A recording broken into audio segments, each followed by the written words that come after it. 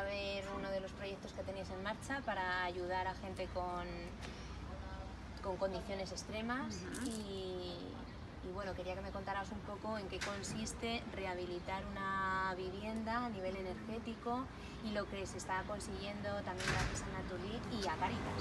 Bueno, eh, yo creo que con la visita que has hecho es evidente que o sea, se constata que hay un problema muy fuerte ¿no? en nuestro país y en, y en muchos hogares donde ya hay economías muy escasas y hay otras dificultades, pues el tema de, la, de los suministros, el tema de las condiciones de las viviendas es un problema gravísimo, ¿no? que impacta mucho no solo a nivel físico, de salud, sino de estar más tiempo en casa o menos tiempo en casa, eh, hogares como muy, muy poco eh, preparados para, para, realmente plantearte ir y quedarte en tu casa. ¿no? O sea, yo creo que son espacios, son techos. Entonces lo que queríamos era un poco el valorar, el que la gente tuviera la calidad del hogar, no, no solamente un techo para estar, sino la calidad del hogar.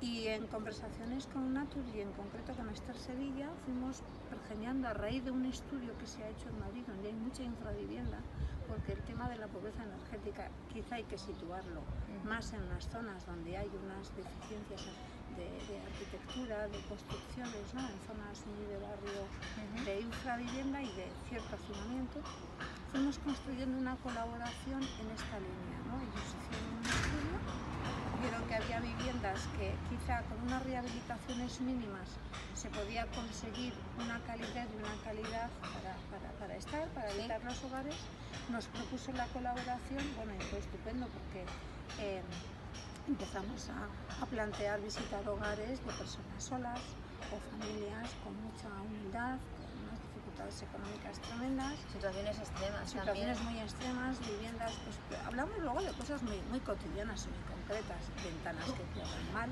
claro. puertas por las que se pasa no solo la pobreza, sino el aire, eh, luces eh, ya eh, muy antiguas. Y que muchas veces no valoramos, ¿no?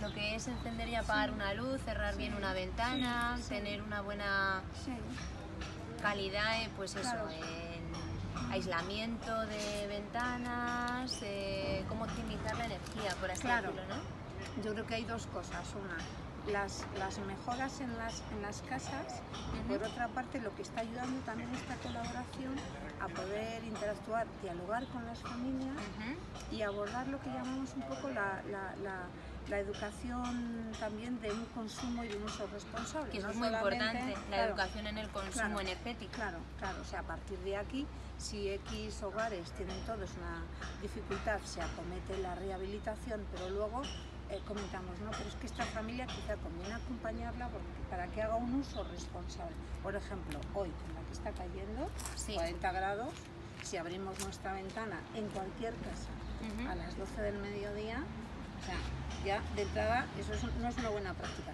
Pues eso es lo que también intentamos posteriormente con las familias, que interpreten también el recibo de la luz, eh, que vayan viendo un poco el cambio antes y después, la mejora, y cómo también ellos son parte activa de todo este proyecto, porque no es un proyecto llegar, rehabilitas y ya está, sino que... No, hay que estar en, en, contacto continuo, ¿no? Para sí, saber, sí. porque nunca se deja de tener una necesidad.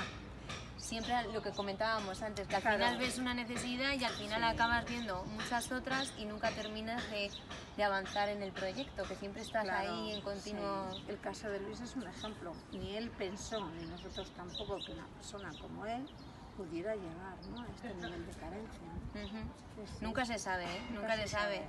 Entonces, bueno, está muy bien que, que concienciemos a la gente y que, sí.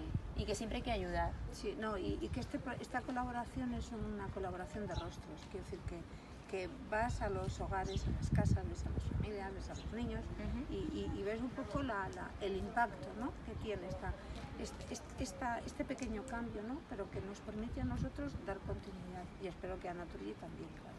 Sí. Evidentemente llegar a más hogares sería nuestro, seguro que sí. nuestro sueño. Lo suyo sería que, que, ayudásemos un montón y que siguiéramos sí. adelante y cuanta más fuerza, mayor, mayor sería Sí, porque el precio de la energía no sé si va a cambiar y las condiciones de las familias sí las podemos mejorar. Pues eso es, mejoremos las condiciones de las familias.